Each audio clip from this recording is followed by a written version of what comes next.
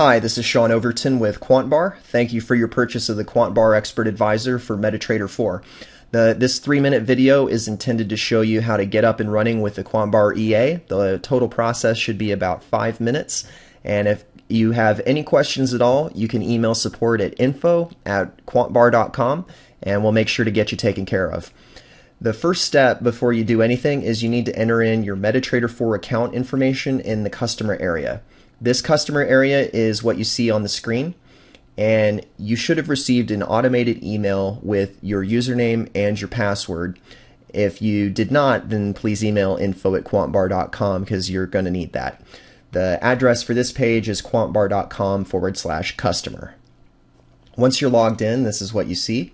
And the first step is to enter in your account details for at least one MetaTrader 4 account. You'll notice there are three fields. That's because you're allowed to use up to three MT4 accounts, but you're only required to enter one. So what you're going to do is open MetaTrader and go to the top left of your platform. And you'll see a number next to the icon in the upper left-hand corner. Write down that number and enter it here in the members area. And once you've done that, just push update information. That'll save your account information and make sure that you're able to use the products. The reason that we need the account numbers is because uh, to prevent software piracy, we want to make sure that only the customers that have purchased the QuantBar products are those that are actually using them. The next step is to download and install the EA. Uh, we've tried to make that as convenient as possible for you by creating an installation file. You just left click on this file and it'll download an executable to your desktop or to wherever you normally save your files. Once you've downloaded the file, just double click it to run it.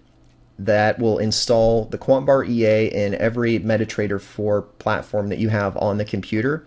That includes the EA itself, the DLL files, and everything you need. If that doesn't make sense to you, the short and sweet of it is that this installation file will do everything for you. Once you've run it, all you have to do is close and then reopen MetaTrader 4. So let me open MetaTrader 4. And here on the screen, you can see that my account number is 7776. And in the member area here, that's what I entered was 7776. So I've got the correct account information, and now I want to use the Expert Advisor. To do that, I need to go to the Navigator window. That's here on the left.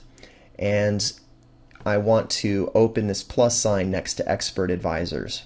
When I scroll down, you should see the QuantBar EA with the gray hat next to it. That means that the indicator, I mean, the expert advisor has installed correctly. The next step is to left click and then drag and drop the expert advisor onto the Euro US dollar one hour chart. Once you've done that, you'll click on the Common tab. Make sure there is a check next to Allow Live Trading and that there's a check next to Allow DLL Imports. The input screen is where you control the settings unique to the expert advisor. All of these are the recommended default settings for the Euro US dollar one hour charts on GMT time.